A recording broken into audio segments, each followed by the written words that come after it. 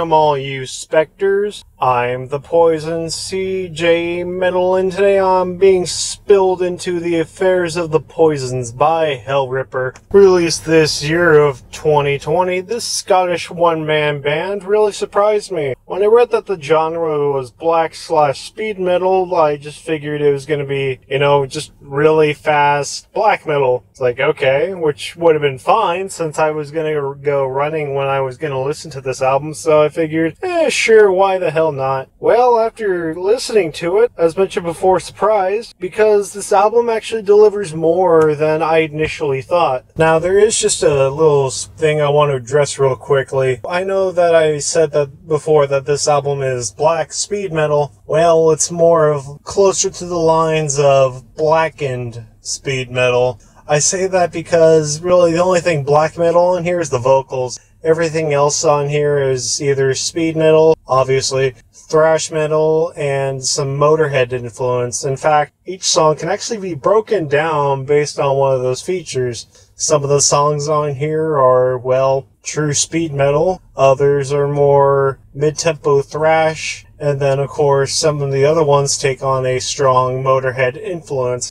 So with all that, we do get a variety of, of different sounds and structures and things like that on here. So it does help prevent the album be, from becoming repetitive. This album could have easily been very repetitive, you know, just really fast black metal for the entire running time, which would have got old really quick, but thanks Satan, Hellripper did not do that. With all those influences mentioned before, the riffs are of course great, the bass is very audible, and the drumming is great. Honestly, like the best way to sum up this album is if Joel Grind of Toxic Holocaust did black metal screams, took some Motorhead influence, and had more than one drumming pattern the entire time. If you don't know who Toxic Holocaust is or ever heard of them, well, that's a personal issue, but I highly suggest you go checking them out as well because they're pretty similar to Hellripper, although Hellripper takes it a little more towards the blackened side and more towards some other influence as well. I honestly found this album to be a great one. It's a fun one filled with occultist lyrics and some great riffs and audible bass and everything I mentioned before. If what I've said caught your attention, then go give this album a listen because it is quite good. And I know he also released an album prior to this one.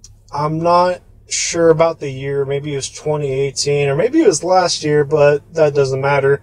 I know that one's also received a lot of praise. If you like this one, then also be sure to check out his other album as well. I haven't heard the other album, but after listening to this one, I can only imagine what the one prior to this must have sounded like. I'm going to check that one out soon too. Maybe I'll write a review on it, maybe. Anyways, that's all I got for today. Thank you everyone for listening. Please don't forget to like and subscribe and make sure you tell a friend to do the same. And as always, I will see you at the next review.